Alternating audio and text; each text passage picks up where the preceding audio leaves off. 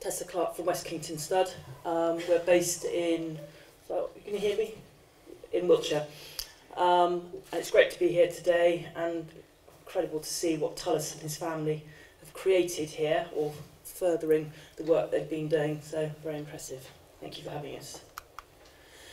So we were set up, um, West Kington Stallion Yard, it's owned by Jane and Tim Holderness-Roddam, um, alongside um, a vet called Martin Boyle. I think anyone in the equine world will be aware of Martin. He um, has done more than any other person, I think, to promote AI, particularly in equine, and also he has done deer and things in New Zealand.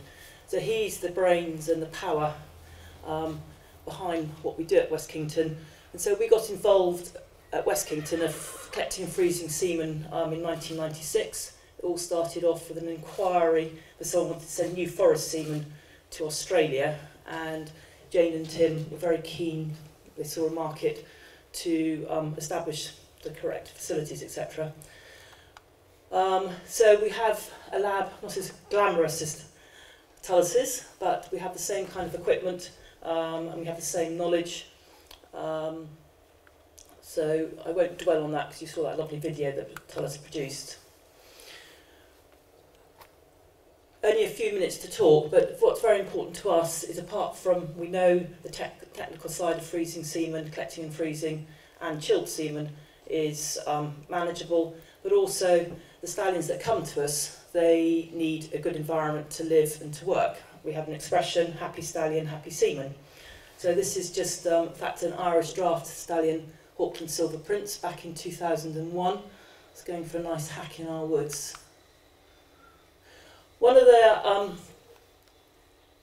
through probably, I think in the early 90s, um, Martin Boyle was, um, it might even be in the late 80s, but anyway, he got involved with various, I think to begin with, heavy horse societies, of going on to farms and collecting and evaluating. I think it started with the Suffolks and the Shires. Um, I'm looking at Barrelay there, he's part of the team as well. Um, and they really were trying to identify stallions. I think it's the beginning of the premium for the Shires to have background um, knowledge of what the semen was like. Um, it's something that we have continued from time to time. Um, we, that's how we originally, West Kington got involved with the Rare Breeds Survival Trust was after the game Foot and Mouth in 2002. We started travelling to various locations um, to collect and evaluate semen to identify stallions that would be suitable then to send into a collection centre and that would either be to Tullis here at Stallion AI or down to us in Wiltshire. Fortunately, we live far enough apart that we can split and as Tullis said, we all get on very well together and share ideas, etc. But also, geographically, we're far enough apart to um, not tread on each other's toes. So, we have the equipment, um, and we can go obviously wherever we go they've got to supply a mare or a dummy that we can collect from but we have all the equipment and then we can start assessing stallions that could have semen um, suitable to come into the collection centre. Um, so for very obvious reasons it reduces costs greatly. So just going back to the past 1997 it's Martin Boyle there doing the collection of the Percheron up in um, Suffolk somewhere. Um, I just love the picture, telegraph pole there, it's all good and rustic stuff. But um, anyway, it's a stallion that did come down to us in the end to have semen collected and frozen. Um, 2002, we'd been to the Highlands. Um, 2003, we down on Dartmoor, the Shilstone Rock Stud, um, Elizabeth Newbolt Young. So we collected off about, evaluated six to eight stallions, and then the rare breeds then put three of them through our system to collect and freeze for export. One of my favourite pictures, we call, I call this collecting off haystacks.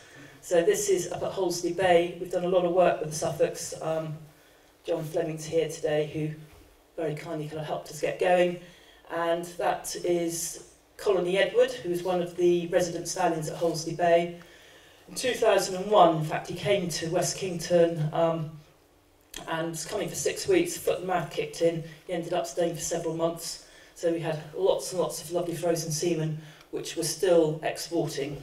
Um, but this was just a bit of backup semen, and it was a day, I think, for John, um, Fred got about four or five stallions in for Martin to evaluate. Um, and those are the prisoners who, I think a year before they were um, on parole, they were allowed to come and help if they wanted at the Stallion Centre. And here's the result. So kind of we're thinking about moving forward of, um, this is by Colony Edward, Australia, someone called Andrew Lucas. Um, it turns out actually he does embryo transfer with his mares as well.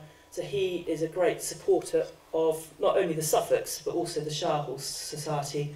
Um, so that's a nice result there somewhere outside Melbourne um, at the foal.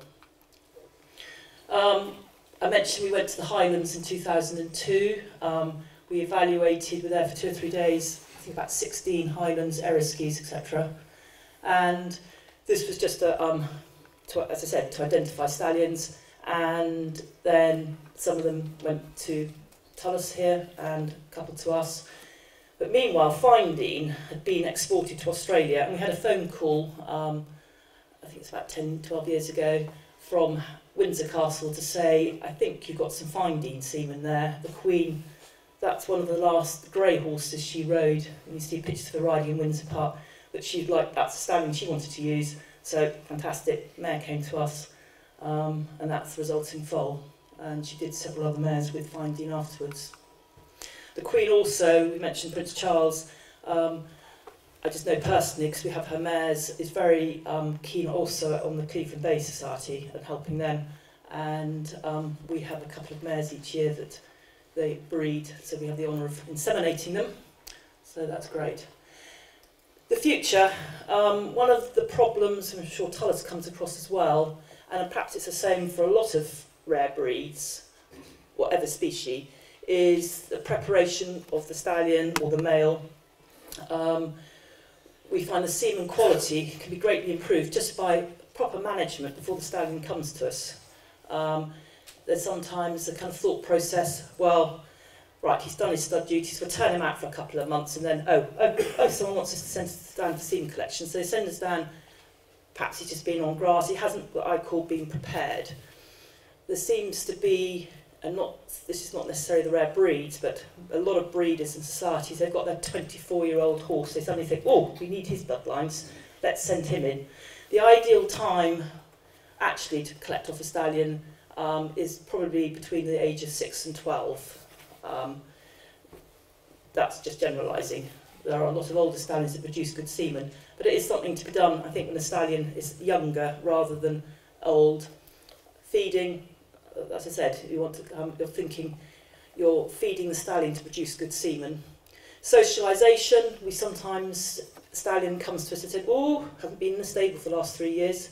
And you know, they're going to expect the stallion are set up, you can't have them living out all the time to get used to being with other stallions um, in a stable. So socialisation is very important, and I'm sure that's the same for a lot of other breeds, um, species handling, you don't want a stallion, again, that's lived out in the field for three years. Oh, I put a rope on him occasionally. Oh, he does all this and that. You've got to have a stallion who's going into this environment. You've seen the pictures just of Tullis's yard into a different experience. So they need to be quite worldly. Life experience, we find that um, the stallions that have been out and about competing, their testosterone tends to be much stronger, higher. Therefore, the semen quality invariably will be better.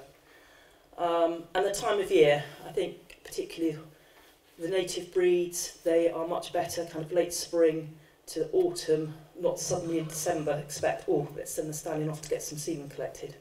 So it's just preparation. At the end of the day, you want to maximise what one can do um, and to give the stallion and his semen the best chance.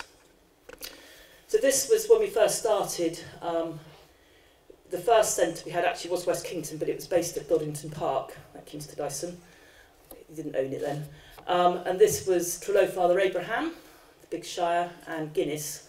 And um, that's what started off what we've been doing to try and help the Rare Breed Survival Trust and native breeds and heritage breeds, I think the term is in general. Thank you very much for listening to me.